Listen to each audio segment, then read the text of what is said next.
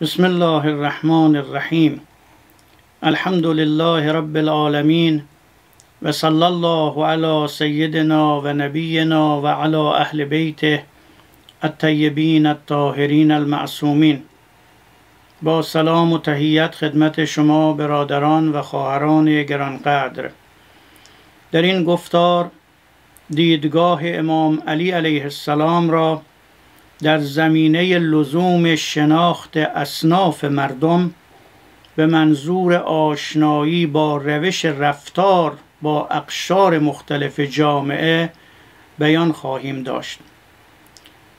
آن حضرت در نامه خود به مالک اشتر در این زمینه چنین می‌فرماید. علم ان الرعیت طبقات لا یصلح بعضها الا ببعض ولا غنى ببعضها عن بعض فمنها جنود الله ومنها كتاب العامة والخاصة ومنها قضاة العدل ومنها عمال الانصاف والرفق ومنها أهل الجزية والخراج من أهل الذمة ومسلمة الناس ومنها التجار وأهل الصناعات ومنها الطبقة السفلى من ذوي الحاجة والمسكنة. وكل قد سمى الله له سهمه ووضع على حده فريضته في كتابه أو سنة نبيه صلى الله عليه وآله عهدا منه عندنا محفوظا. یعنی بدان ای مالک که مردم از گروه های گوناگون می باشند که اصلاح هر یک جز با دیگری امکان ندارد و هیچ یک از آنها از گروه دیگری بینیاز نیستند. از آن قشرها لشکریان خدا و نویسندگان عمومی و خصوصی و قضات عدالت و کارگزاران انصاف و مهرورزی و جزیه دهندگان از اهل ذمه و پرداخت کنندگان مالیات از مسلمانان و بازرگانان و صنعتگران و نیز طبقه پایین جامعه از نیازمندان و مستمندان می باشند که خداوند برای هر یک از آنها سهمی را مقرر داشته و مقدار واجب آن را برای هر گروه در قرآن مجید یا سنت رسول گرامی اسلام صلی الله علیه و آله و سلم تعیین فرموده که پیمانی از طرف خداست و در نزد ما محفوظ می باشد. اما شرح این فراز. روشن است که امیر مؤمنان علی علیه السلام در اینجا در صدد تأیید طبقاتی بودن جامعه که امری مخالف روح اسلام و منش دادگسترانه آن امام بزرگوار است نمی باشد بلکه اقشار مختلف مردم را به منظور تأکید بر ساماندهی و سازماندهی هر قشر و تبیین حقوق هر یک از آنها بیان فرموده است. برای توضیح این تفاوت به عرض شما عزیزان میرسانیم که سردمداران برخی از جوامع و حکومتها افراد ملت را در چند طبقه مجزا و منفصل از یکدیگر تقسیم می و برای طبقه بالاتر بیشترین امتیاز را قائل می شدند و طبقات پایینتر را از حق و حقوق مسلم خیش باز می داشتند. هدف این حکومت ها قانونی کردن تبعیض به نفع اشراف و ثروتمندان جامعه و ظلم و ستم آشکار به اقشار ضعیف جامعه بوده است به عنوان مثال فرمان روایان ساسانی عموم مردم را به چند طبقه به این شهر تقسیم می کردن.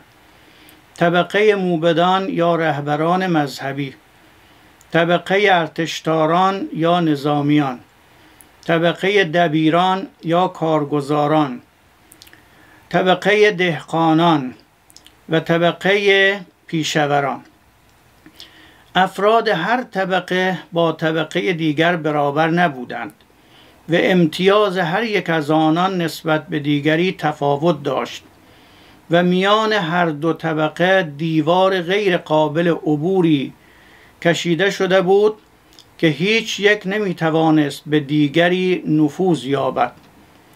کشاورزان و پیشوران در پسترین مرتبه اجتماعی قرار داشتند.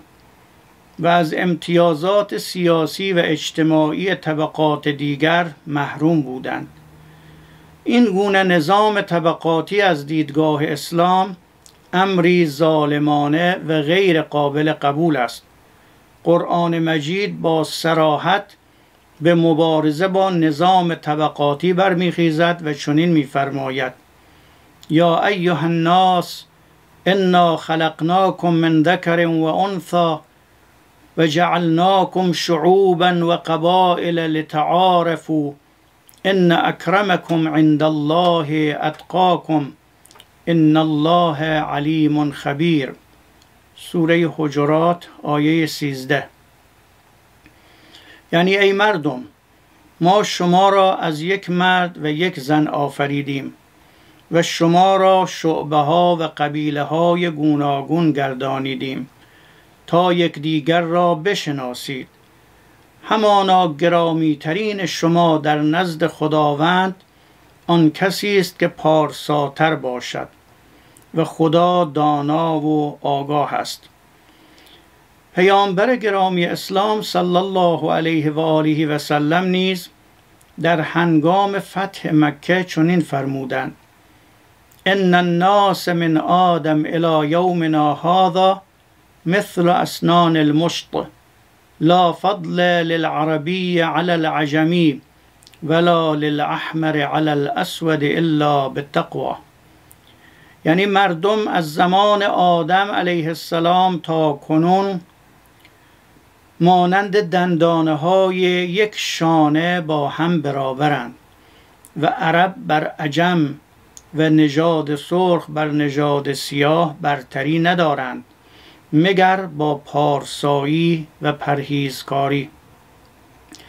بنابراین امام علی ابن ابی طالب علیه السلام در عبارات یاد شده در صدد تثبیت نظام طبقاتی و اختصاص امتیازات بیشتر برای طبقات بالا و محروم ساختن طبقات پایین جامعه نیست بلکه اقشار مختلف مردم را یادآور می شود تا حقوق آنان را بر اساس نظام عادلانه و طرفدارانه از محرومان به مالک اشتر تذکر دهد و رسیدگی عادلانه به همه آن اقشار را به فرمانروای مذکور توصیه نماید.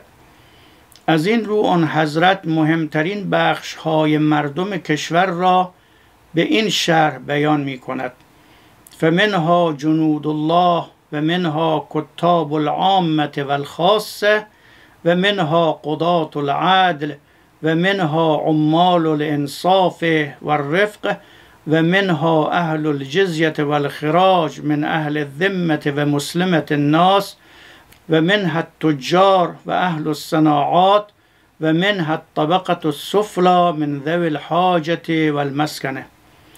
این اخشار عبارتند از نیروهای مسلح نویسندگان عمومی و خصوصی عوامل دستگاه قضا کارگزاران که مسئول رسیدگی به رفاه جامعه هستند پرداخت کنندگان مالیات کسبه و بازرگانان صنعتگران و قشر آسیب پذیر جامعه که از نیازمندان و مستمندان می باشند سپس آن حضرت به مالک اشتر یادآور می شوند که خداوند برای هر یک از آنها سهمی مقرر داشته و مقدار واجب آن را برای هر گروه در کتاب خود قرآن و یا سنت رسول گرامی اسلام صلی الله علیه و آله و سلم تعیین فرموده است.